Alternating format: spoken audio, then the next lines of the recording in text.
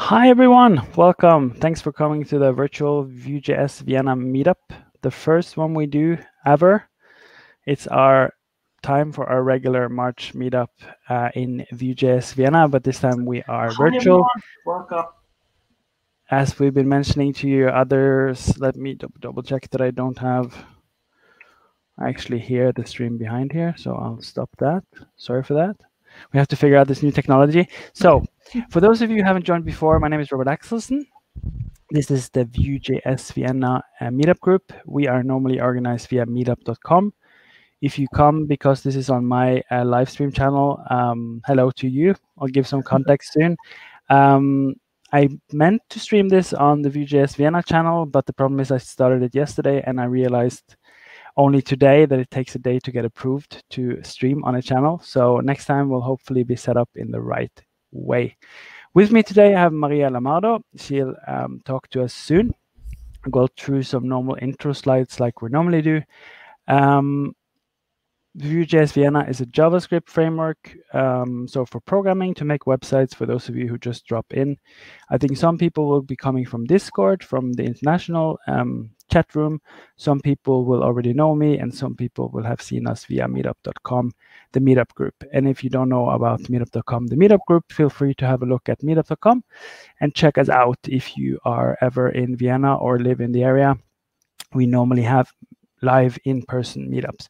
But now, because of the Corona time, unfortunately, for everyone's safety, uh, we are hunkered down at home and we're trying to make this still work. Cool. Um, it's a bit confusing because normally we have a sponsor that covers pizza. Uh, I don't even have virtual pizza for you today, so uh, I'm just mentioning them because they are ongoingly supporting us, also also supporting all the time I spend on organizing and hosting this meetup they are um, supporting and covering. So that's really nice of them. Have a look.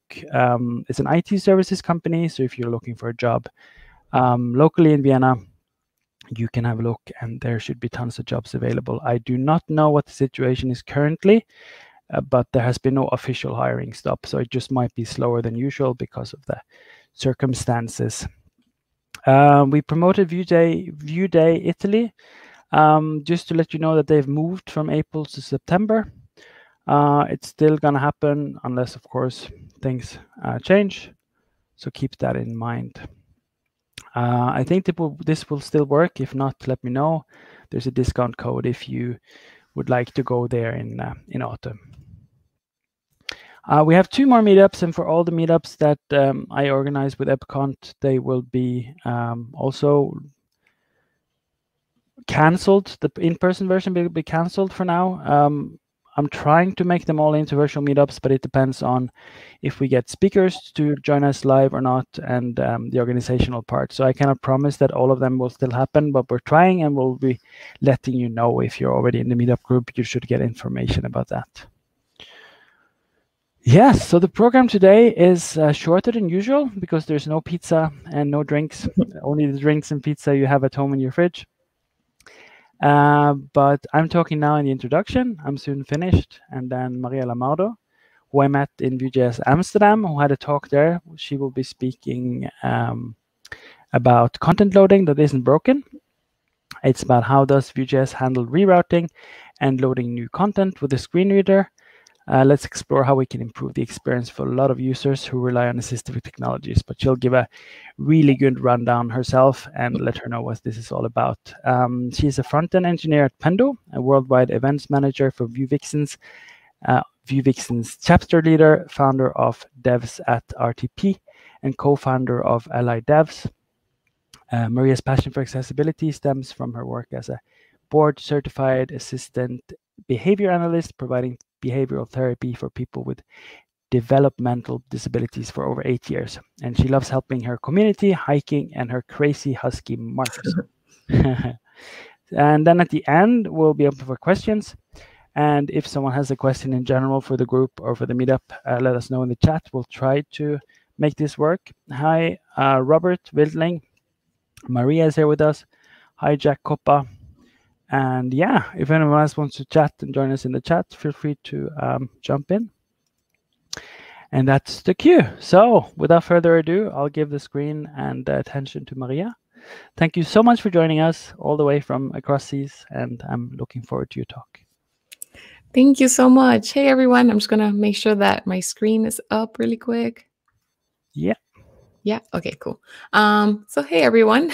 um, I think most of you have seen, or at least the people that are commenting have seen this talk before. So um, feel free to jump in with any questions. This is like for meetups, it's a little bit more casual. So I will take it slow and take any questions. I'll kind of keep checking back here um, in case I see any questions. Uh, but yeah, so today's talk is about content loading and how you can handle uh, content loading of your applications.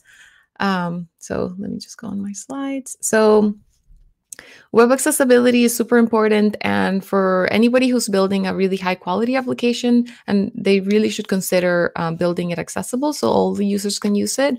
And, you know, the, um, the internet was actually made for access to all people. And when we are creating accessible applications, we're actually meeting this goal. Um, and of course, there's different types of disabilities. There's motor, cognitive, auditory, and visual impairments, and they each will have, um, you know, very use uh, different use cases for each application and very different experience depending on which disability the user might be experiencing. Um, so keep that in mind when you're creating applications, not to just test one use case, um, but try different user flows with different types of assistive technologies. Um, so here I have this um, color wheel. And I actually have this application called Color Oracle, which is really easy to use. You can just um, turn it on and then with your arrow keys toggle different types of color blindness and it does give you a little bit of information about each type um, like what the, uh, the effect it has on the population so this one's 5% of all males will see um, colors like this 2.5 0.5 um, and then this is just grayscale you could see that the colors change drastically depending on whether or not you have a color blindness. So making sure that you're not only providing colors as the only indicator for information on your website is super, super important. Um, another thing you want to consider inside your applications is the use of heading structures and how you're handling that, um, making sure that every section starts up with like similar headings and then they, you can nest headings inside of those. Um, and making sure that you're not skipping any any of them. So if you start with H1, the following will be H2 followed by H3. Don't go from like H1 to an H6. Um, really think about this as sectioning off your content as like in a higher hierarchical manner. Um, yeah. And then also um, the use of landmarks is super, super important. And there are a lot of like uh, semantic elements that you can use for this, like the header tag, nav, main, aside, and footer. And there's a lot of these that you can use to kind of uh, set out your content structure in your application to um, make it easier for users who are using assistive technologies to be able to navigate. Um, now, I want to get a little bit into some of the problems that you encounter when you're using single page applications. Uh, because uh, we are using client side JavaScript to handle the routing, um, browsers won't handle a lot of things for you. Like it won't refresh the page and handle the focus. Um, so you're missing out on things like uh, screen reader announcements that new content has loaded, as well as the focus management for that. So there are some simple solutions, uh, making sure that you are using ARIA Live regions to, hand, uh, to handle any announcements of new content that has been um, added to the page or don't due to a reroute, as well as um, handling the focus ourselves.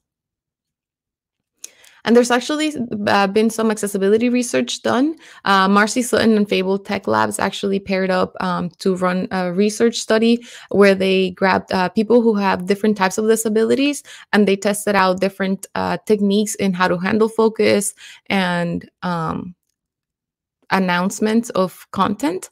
And she wrote a really, really good article about it called What We Learned from User Testing of access Accessible Client Side Routing Techniques with Fable Tech Labs. Um, and their findings are really, really interesting. And we'll kind of go over some of those techniques today.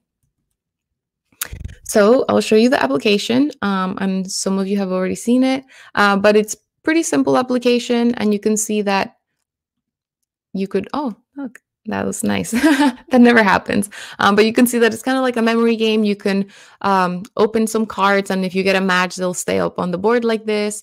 Um, and then, of course, there's also an instructions page. Um, so let's check out the experience for this with a screen reader. And I'm actually, let's see how this is going to work out. Let me know. Is sharing your screen, window. Is sharing your screen, Maria Outlook, Google Chrome, Maria, window. Um, let me change the speed on this because that is really fast for you guys. Um, so another cool thing about um, screen readers is that you can actually um, set the speed at Rate 45, which the best way to predict the future is to invent it. Rate Yeah. 46, the best way. so let me show you like if you change the speed like i'll go 90 The best way to predict the future is to invent it.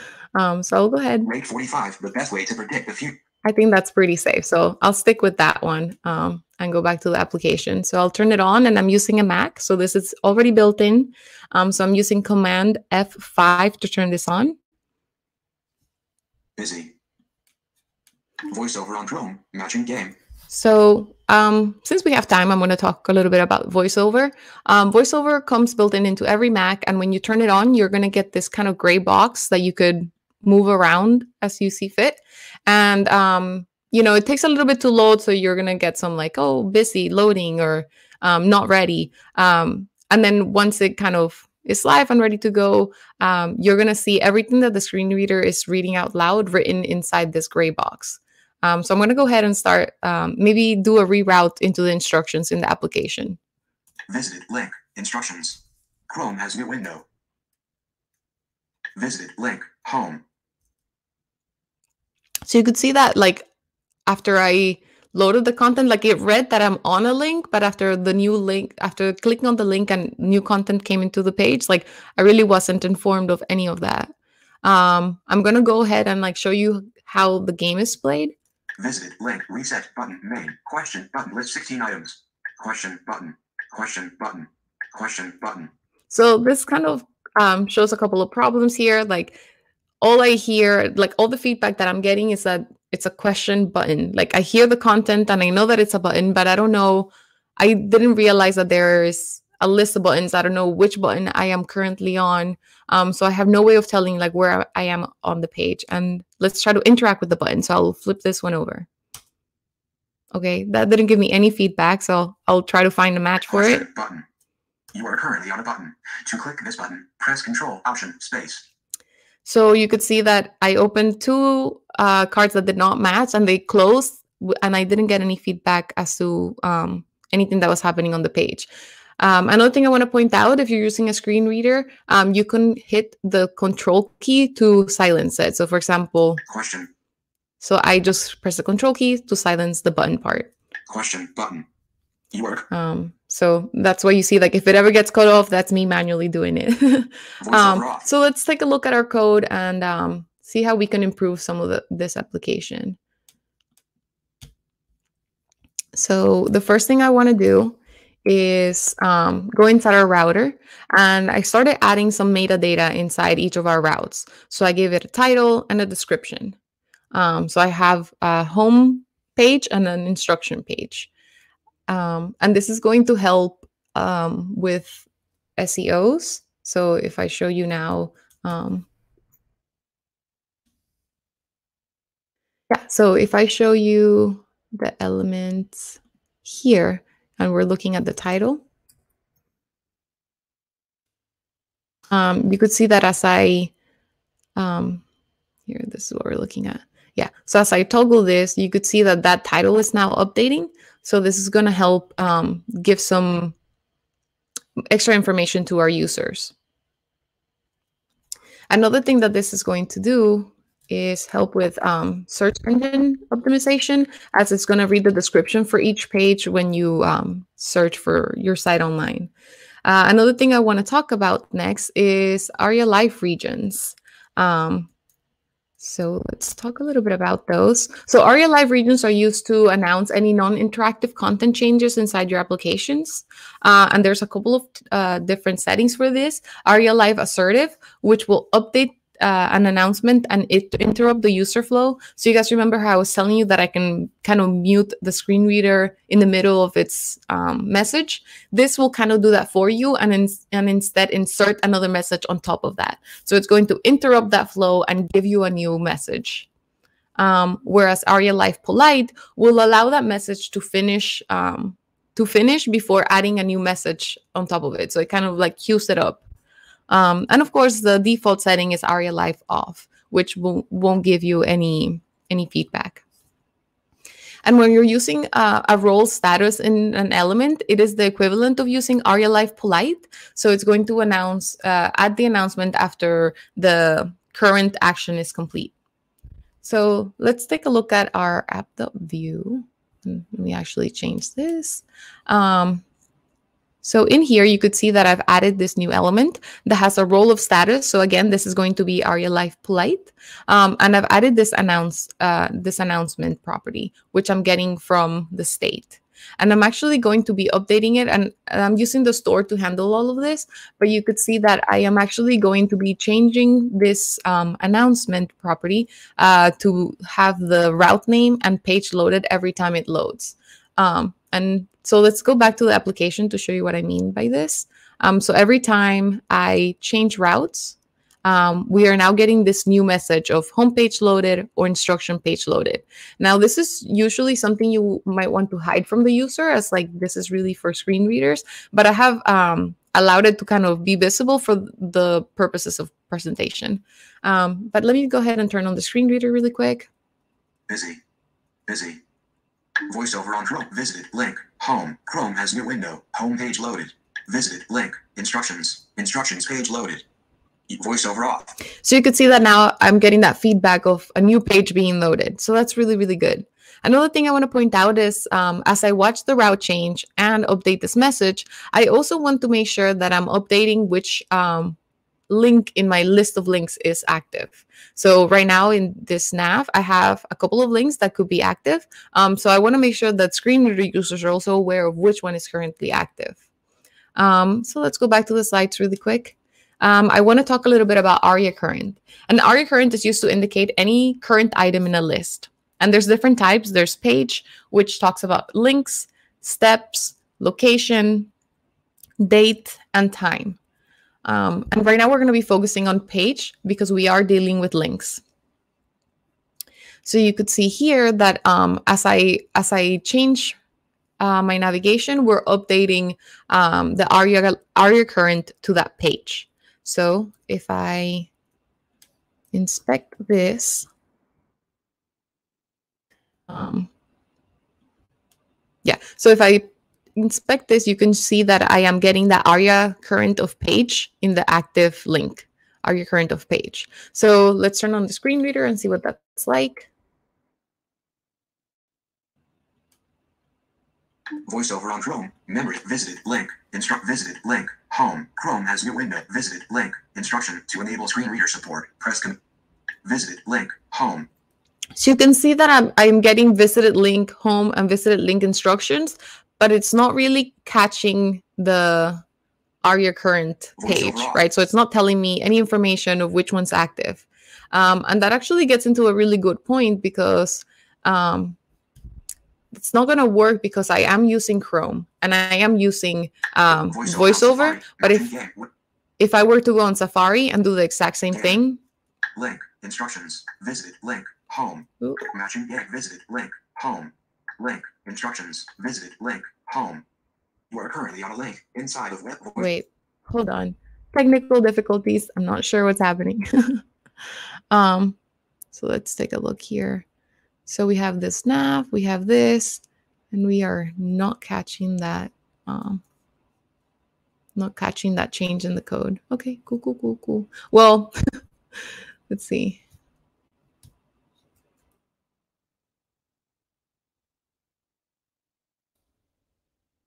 Uh, all right.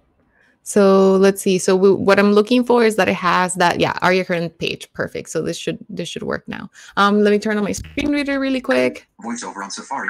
Reset. Link. Current page. Visited. Link. Link. Instruction. Current page. Visited. Link. So you can see that we are getting current page in. In Safari when using VoiceOver. So let's go back to our slides really quick. And that is because different screen readers have different supports depending on which browser they're being used in. So NVDA will be best supported by Firefox. And this is a really, really great choice if you're using Windows and um, this is a free screen reader. JAWS, it is a paid screen reader and it, it works best with um, Internet Explorer. And VoiceOver, which is free and built in in all Macs, um, works best with Safari. So even though you are um, updating your applications correctly and you're using the right attributes, you might not see it unless you're using um, a certain browser because of the support. Um, so yeah, so let's go back to the code and see what else we can um, do. So again, we've kind of handled the links and the reroute, but something that we haven't considered still is um, the focus. Um, when you change the page, what happens to that focus? Um, so what we want, what I've go ahead and done, I added this skips links um, that will skip to the main content of the specific page. And then if we go home, which is one of our pages, you could see that we have this main ID here for our main content, as well as for the instructions. Um, yeah, in the instructions, we also have this ID of main um, on that main um, section. So when we when we go when we do this, you see how we have like a skip to main content and we're going to skip here and this is um, happening like this because we have a tab index of negative one and it brings it into focus. So let's go to the slides and talk a little bit about tab indexing.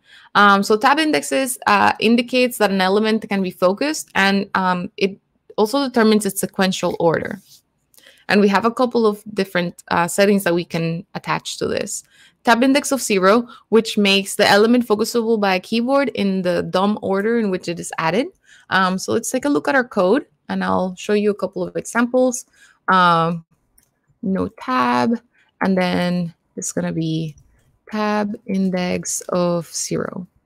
Um, so I want to show you some paragraph, uh, uh, two paragraphs. One doesn't have a tab index, and this one has tab index of zero.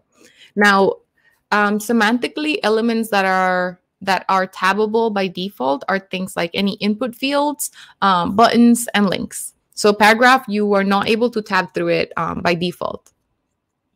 So if I am at the beginning of my page and I start tabbing through it, um, I expect to kind of skip the paragraph, but you can see that I skipped that first paragraph, but the second paragraph that has a tab index of zero actually gets added to that uh, DOM order of tabbable elements. So you could see that I'm able to access that one.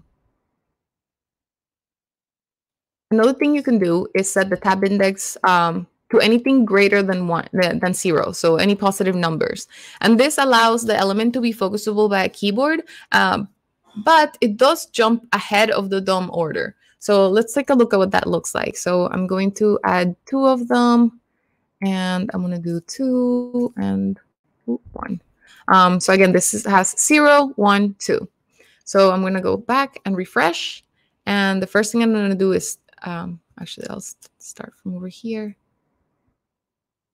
Okay, so if I'm tabbing, you could see that, um, well, it seems to be focusing on. Okay, so as the first thing I tab, it, goes to the tab index of one. And then if I tab again, it's going to go to tab index of two. And if I had tab index of three, four, five, um, it would kind of continue down that um, that order. And then after I finish any positive numbers, it's going to go back into the DOM order. So then I go back to all my links, anything with tab index of zero, and then um, down to the DOM order. Now, I'm, a thing I want to point out is that yes, this is available for you, but you should really, really avoid using any positive numbers on your tab indexing, as it can be very, very confusing for um, users who are using assistive technology. And also, um, it is really hard to maintain. So, for example, if you have some uh, a bunch of elements that you're using and you're all the way to like tab index of 12 and or tab index of 22 or something and then you need to change like the 10th item and then you have to update all of the tab indexing that uh, come after that. Um, so it's really really um, a better practice to just use tab index of zero when you can and then just add them in the correct DOM order so that it's just um, more maintainable and easy to use for users Another setting you can give it is tab index of negative one. And this allows the element to be focused programmatically. Um, so let's take a look at what that means. So I will give it a tab index of negative one and save that. And before I do anything else, I'm just going to go back to the page and try to tab to it. So again, I'm going to one, two, then through all the normal elements, zero, and then I actually completely skipped that tab index of negative one. It like it didn't really bring it into focus at all. But that is because it does this programmatically. So let's give this a ref of, I don't know, tab here. Um, and then every time I click that reset button, um, let's see, yeah, new game, I'm going to call this ref of tab here, and I'm going to focus So if I go back now and I hit this, again, I'm skipping it as I tab through, but if I hit that reset button, you see that my focus now goes to that tab index of negative one, even though it's a paragraph and it's not semantically tabbable. So that is why that is why we add things like tab index of negative one here so that it's not only tabbable but it's focusable. Uh, so that it's not um not, sorry not tabbable but but that it's focusable when we call focus to it. So for example if we are in here and i'm going to open up this tool called NerdeFocus which keeps track of everything that is currently in focus in your site. So um, let me show you a little example so you can see as i'm tabbing through it's kind of catching what element i am on. Um, so if I go to the main content, like if I skip to main content, and I'll clear this before, um, you could see that I'm actually on main um, and we see this blue um, outline.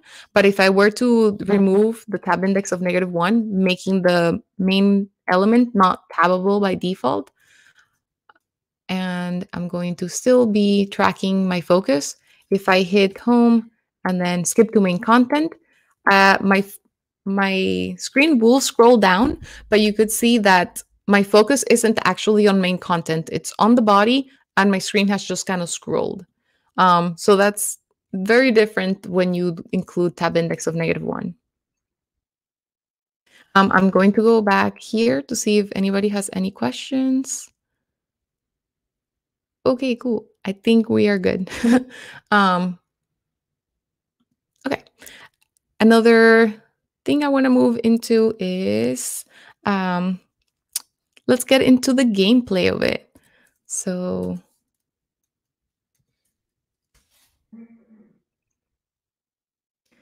something we haven't still fixed was how that gameplay functions for people um, using screen readers. So as we saw from the beginning, it wasn't giving us any feedback when we flipped cards, when we matched cards, or when we opened two cards that were not the same. Um, so what we're doing here is inside our home component, uh, yeah, which is where the game is held. Um, I've added a an announcement. Um, yeah, no, it, I have to revert my changes. Okay, there you go. Um, yeah, so here I've added another announcement which works the same way as the as the first one I've showed you. So again, role of status, which gives me an aria aria live of polite. So it's going to wait for any content to finish um, getting announced before adding this new one. Uh, and I am again using the store to update this, and I will do this um, to help me find it. And then you could see that as I play the game, so as I flip cards, it's going to start updating my messages. So when I first flip a card, it's going to say, if, if the card's already flipped, it's going to say it's already flipped. Um, when I first flip a new card, then it's going to give me the card name and flipped. So it's going to say like car flipped. Um, if matches are found, it's going to tell me the card name, the fact that it got matched, and the amount of matches remaining in the game. If I win the game, it's going to update the game, uh, the announcement to the winning message. And if I have no match, it's going to tell me the card name and that it flipped without a match. So let's take a look at that. I'm going to turn on my screen reader. Chrome busy. Voice I want to just make sure to enable up next. Animation started. You are online. Reset button. Memory card two button. Card Okay. card two button. Card three button. Oh yeah, another thing I want to mention is that I've also not only have well, okay, okay, let's finish the update. Um, Busy, busy, busy. Voiceover card two, card three button. Card four button. so I'm gonna go ahead and flip the card. Run flipped. So I got uh, feedback that bug was flipped. So I'm gonna go back and um, open paw. Card three button. Paw flipped. No match. You have two total. So it told me the bug was flipped and then that the pot was flipped, no match, and then it closed both of them. Um, so I got that feedback right away. And then let's try to find a match. Card So- card, card two, card one button. bomb flipped. Card two button. bomb flipped. Match found. Seven matches left. You have four total. Moves with three stars. Yeah, so it told me um, bum was open, bomb was match. How many um, how many matches were left in the game? Another thing I want to point out. containing window. Home. Dot Ooh. food. Memory game. Voice. Okay, okay. Another thing I want to point out is the use of um, adding the accessible names. So you could see that as I was going through the game, it was now telling me like card one, card two, card three. Um, and we this is actually done um, by adding accessible names, and you could do this a couple of ways. Um, so I've used um, ARIA labels. Yeah, so here's the card. So um, ARIA label. Um, and then you could see that I also have this ARIA described by, and then in some places you'll see that I'm using um, ARIA labeled by. So let's go back to our slides and kind of talk a little bit about accessible names. So there are different ARIA attributes that you can um, add into your elements to give accessible names, one of them being ARIA label. And this will provide essential information about an object. Um, and then you really want to use ARIA label um, when the content that you want to announce is not present in anywhere on your page. For example, if you have an application and you have say say that you have a modal and you know you have that little X icon to close, um, there the word close doesn't really exist within there. Usually, you you can have it, but usually it doesn't exist anywhere. So this is where you will go into that icon and give it an ARIA label of close. Um, an ARIA labeled by uh, behaves very similarly to ARIA label, um, except that um, except that it's going to be paired up with something else that is on the page. For example, let's go back to that icon example. So if you had an X, but inside that modal there was a big word that said close, um, you can actually reuse that content to give that uh, accessible name to the icon. And you do that by pairing it with an ID. And I'll show you guys some example of this in a little bit. And ARIA described by is used to provide additional information that the user might need. And it works like ARIA, ARIA labeled by in that you pair it up with an ID. Um, but it doesn't give it an accessible name, it gives it an accessible description. So when we go back and look at the code, you can see that our button has an ARIA label. So, um, which is if the card is flipped, then tell me the card name and tell me that it's flipped. Else, tell me the card and the index in which it's in. Um, another thing we're adding is an ARIA described by for each button that tells me the game update. And let's go check out what the game update looks like. Uh, let's see. Okay, so game update is in my store.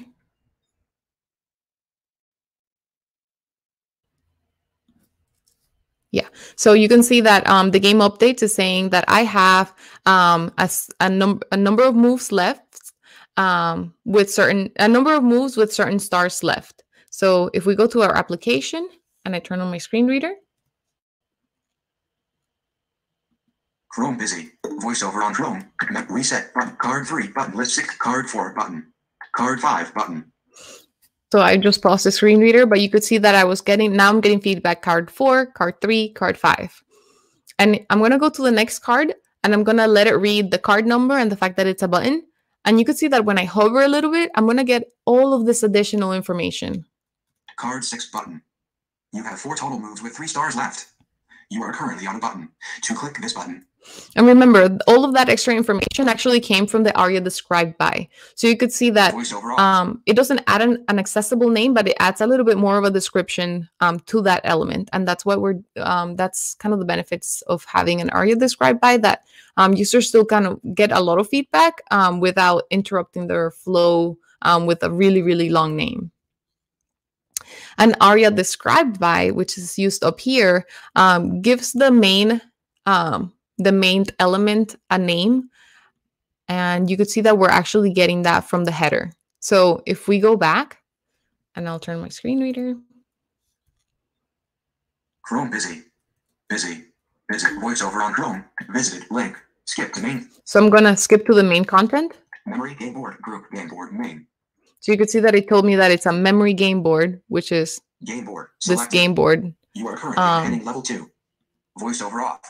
So you could see that it's um, reading that title and the accessible name. Another way that you can also see it if you don't want to turn on, on your screen reader, um, you can inspect an element and I'll go ahead and inspect this one that is open. And I'm using Chrome and Chrome has this awesome accessibility tab, like same where you would look at styles.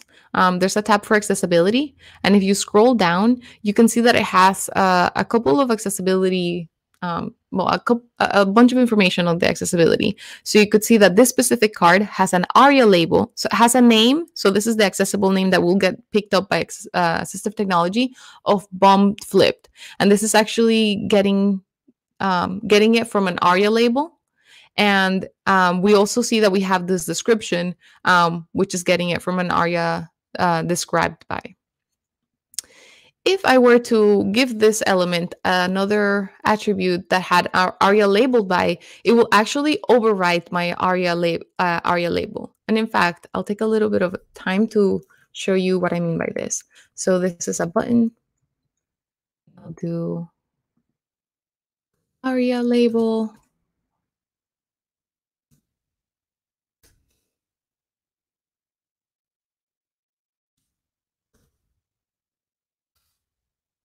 And then I'll do another one with a label and a labeled by.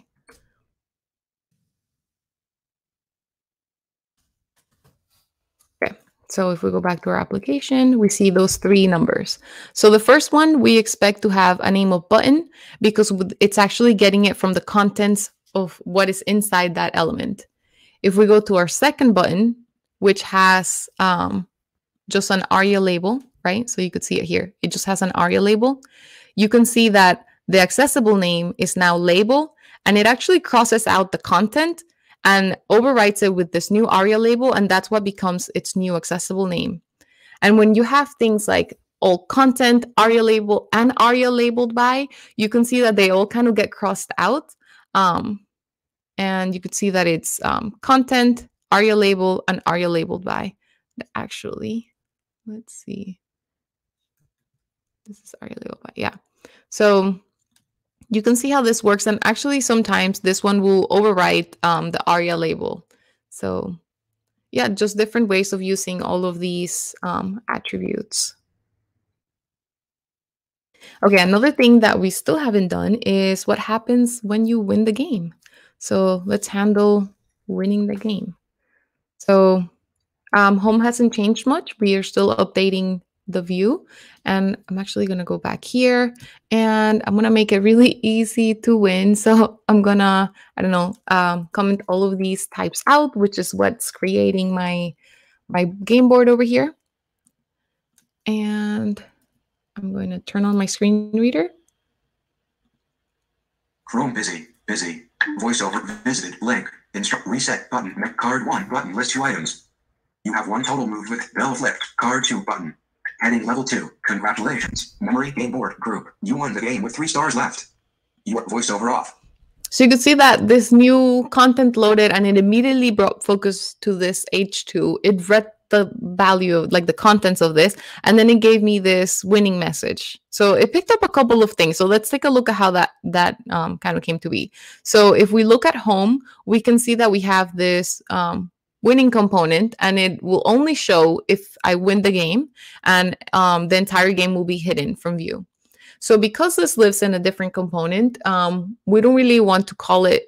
Oh, this is the wrong. Okay, yeah, we don't really um, call it with the ID.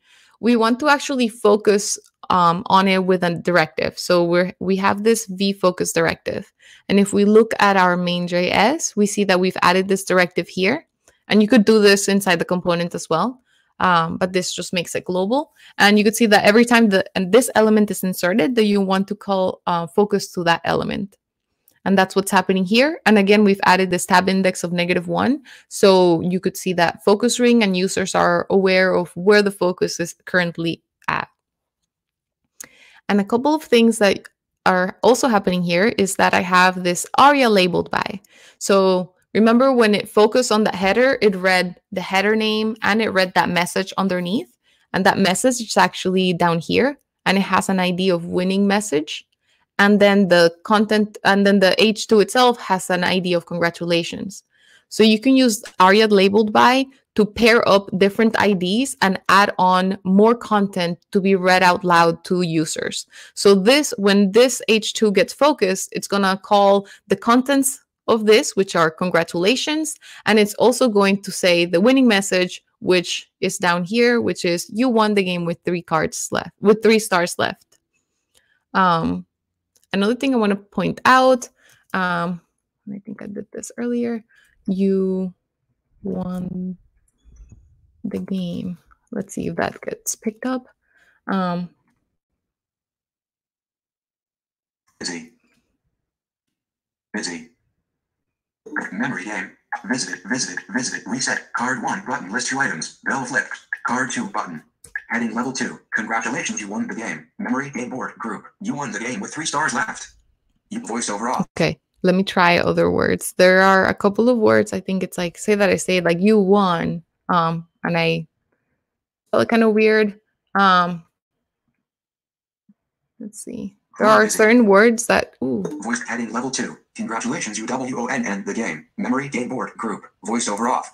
yeah. So you guys saw that um, there are certain certain words um, that the screen readers like you have to be very careful when you're using capitalized letters um, as the screen readers will sometimes pick it up as like an acronym and start spelling it out instead of reading the actual word um, so as you're building out your applications make sure that you're kind of testing that out and making sure that you're using words that screen readers um, are able to pick up and not um, kind of spell out instead um, so yeah so this hopefully showed you um, the importance of creating an, an inclusive user experience.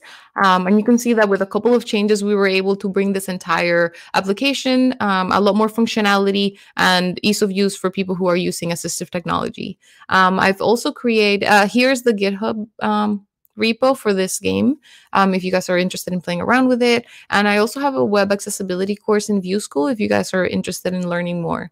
Um, I've also created a workshop for this specific game if you guys want to put it together yourselves. It is available for free at um, vuevixens.org.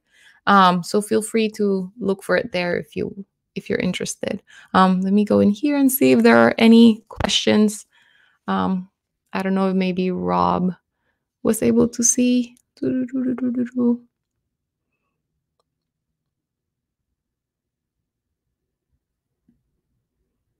Um, I'm posting on the screen now. The first question we got in the middle of the talk uh, was from Michel Miano. It's Oh, about does tab index get re-evaluated when populated by reactive properties like in Vue? So like if you bring a new um, piece of content that has like a tab index of zero, that's gonna get added. Oh, cool. I like. Um, yeah, Yeah. So it, it's gonna get added in that DOM order in which it comes in. Cool.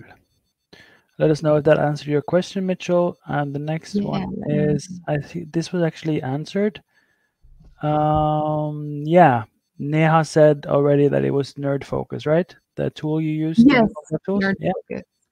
And I can actually. Oh yeah, let me stop sharing my screen. But I No can worries. actually um, look for it and show you, um, like share the link to to download it if you guys are interested. Yeah, cool. Uh, we have one more question from Karvak. Which text to speech tools would be considered and developed for? I mean, I'm pretty sure there are some tools that could be compared to Internet Explorer and not worth developing for. You show again which tab in Chrome DevTools you use to keep? Oh yeah, sorry. Can you can you post that question or maybe it is posted? Okay. Um, text to speech tools considered and developed for. Um, well, you should really be considering.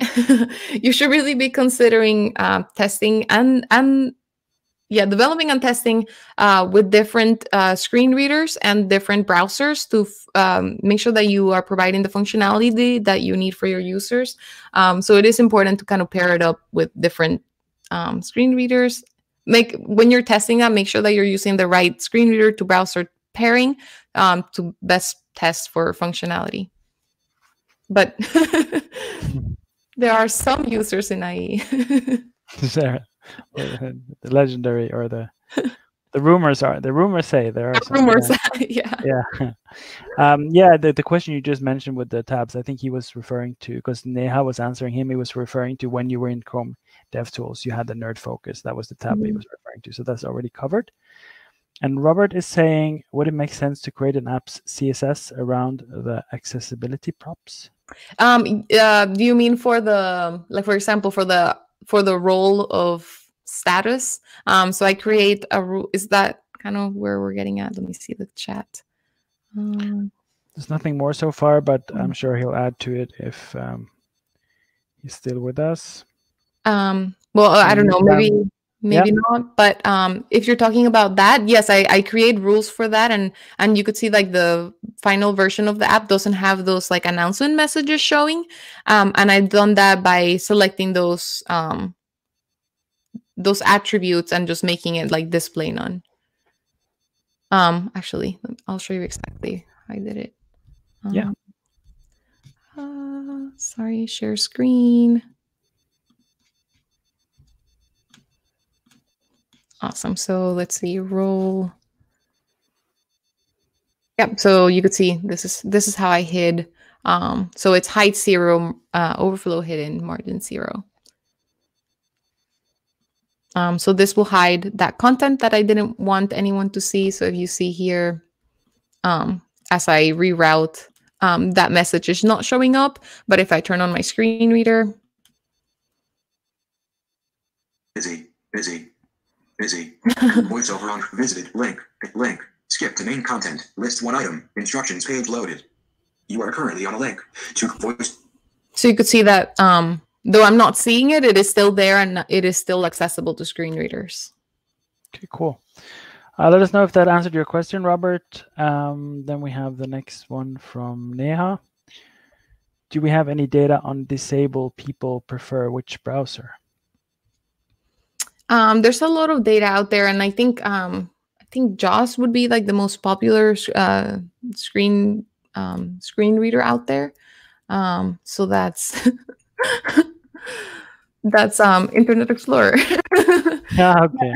But a lot of people, I, I, would say that a lot of people use VoiceOver with Safari. But yes, I will I will send out um, the stats on that. Cool. Uh, uh, uh, there's let's go for the next question first, and then there's a clarification from Mitchell. For the text being capitalized, I've used text transform uppercase before, but it seemed it also affects what the screen reader was saying in NVDA. Is there other? Is there another alternative? Yeah, it does affect. Um, oh, um, also there's this. Um, there's this person who has um, CB Abbott has a really really good talk on um, CSS properties and how they ac affect accessibility.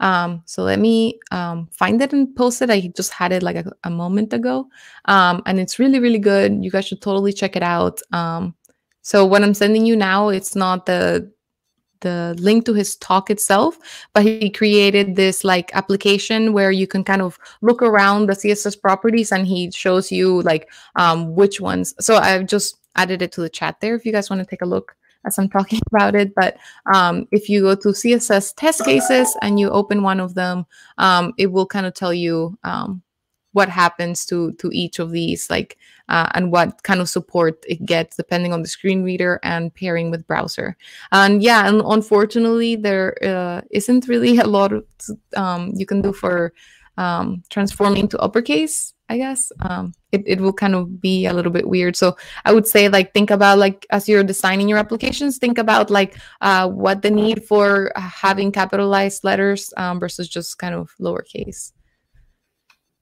Cool. Um, Mitchell, just remind us what he was asking. He has a clarification. He was asking, does tab index get reevaluated by when populated by vector properties?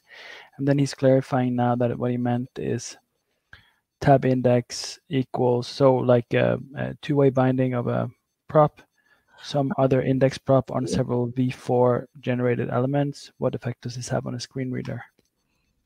Hmm. So I would be wary of doing something like that. Like um, again, because of like positive numbers, like we don't really want to do that. Like in fact, if you run an audit, um, it's it's going to catch it as a flag. Um, so it's just kind of like an anti-pattern. Like I would recommend just staying away from using anything positive and just staying with zero or tab index of negative one for like programmatic focus. Um, another thing I want to say to NATO, who had the uh, the question about um, capitalized, yeah. Um, something you can do, like if, if it absolutely matters to your design, is to, yes, capitalize it. And you could always uh, wrap it in something and give it an ARIA label so that it reads it correctly.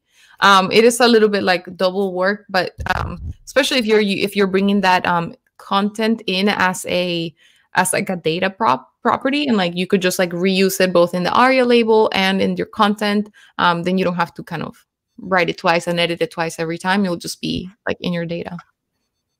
Cool.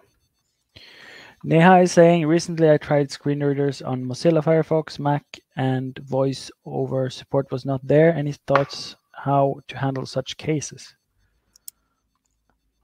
Screen or someone.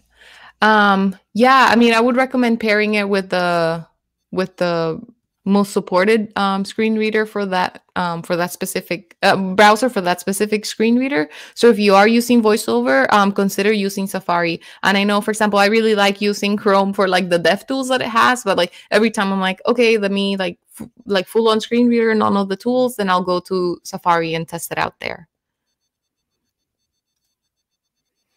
So last question for now, at least, um, Roberto Cuba Rocha.